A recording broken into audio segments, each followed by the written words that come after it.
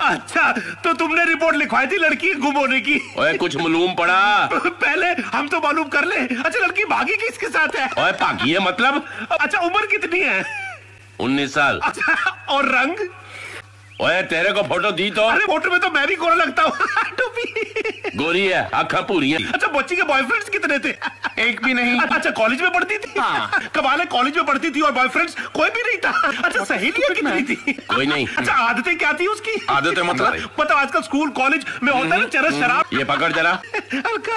अब पूछ क्या पूछ रहा था बे नहीं करती थी तो ना कर दीजिए ना। अच्छा कहीं घूमने जाया करती थी नहीं।